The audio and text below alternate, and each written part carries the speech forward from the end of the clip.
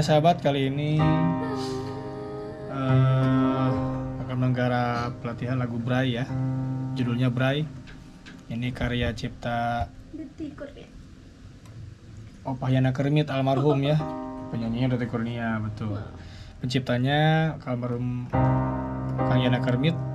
Semoga beliau almarhum diterangkan dalam kuburnya diterima iman Islamnya ya. Ini lagunya akan kita garap kembali di recycle oleh Dede Priska ya. Bray judulnya.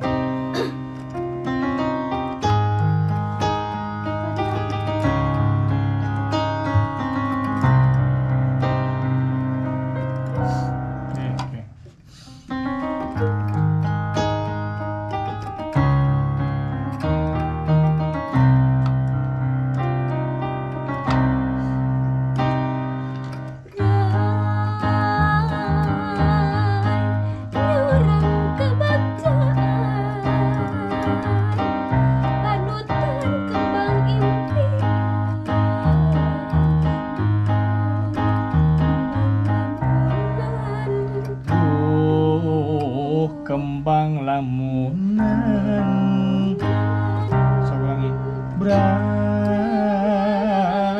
Yuk, dapat.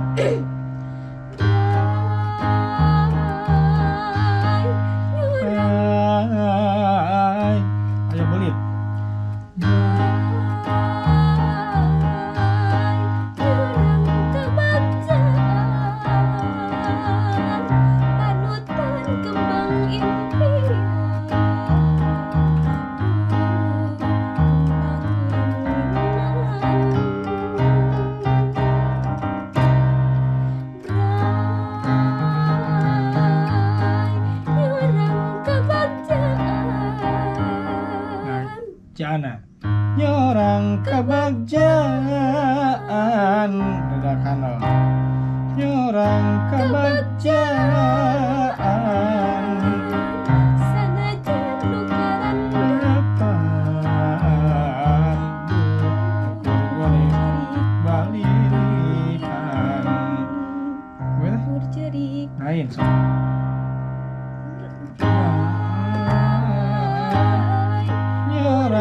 Nyorang